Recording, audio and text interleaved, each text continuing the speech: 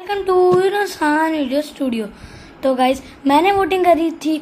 आप, मैं, आपको कौन सी अगली वीडियो चाहिए? मैंने दो चीज़ें रखी थी। गेमिंग की वीडियो या फिर red gear pro series wireless game pad की रिव्यू तो जो मैंने कंट्रोलर की रिव्यू करी थी, उस पर 100 परसेंट हो गए थे।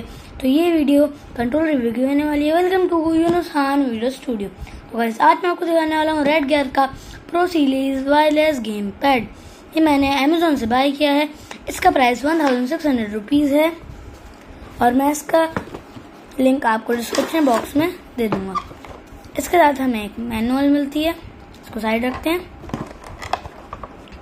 और एक हमें एक चिप मिलती है, जो कि आपके सी कंप्यूटर के साथ कनेक्ट हो सकती है। क्योंकि ये वायरलेस है।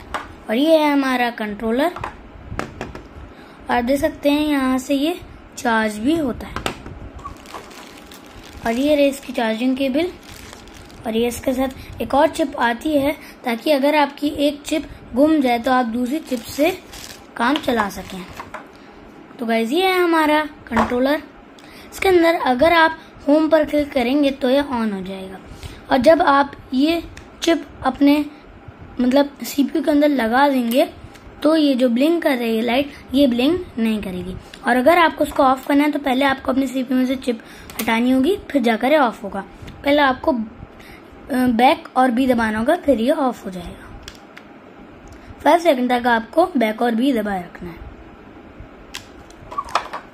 और ये और ये जो कंट्रोलर है, ये विंडोज़ सेवन विंडोज़ एट और विंडोज़ एट और eight Windows eight point one और टेन में चल जाता है।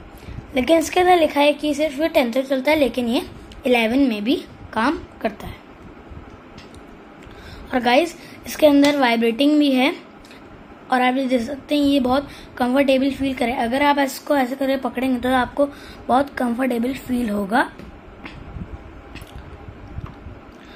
और जब आप इसको चार्ज पे लगाएँगे तो यहाँ से आपकी चार्जिंग होगी। जब आप इसको चार्ज पे लगाएँगे तो यहाँ पर जो लाइट ब्लिंक कर रही थी, वैसी ही वो ब्लिंक करेगी।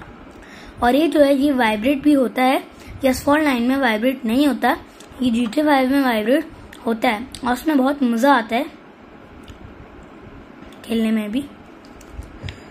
और अगर इसकी बैटरी लो होगी तो आप देख सकते हैं वाई एक्स बी और ए इनकी जो लाइट होगी, वो बहुत लो हो जाएगी। उससे पता चलेगा कि इसकी बैटरी लो है। तो मैं मिलता हूँ अगली वीडियो गुड बाय।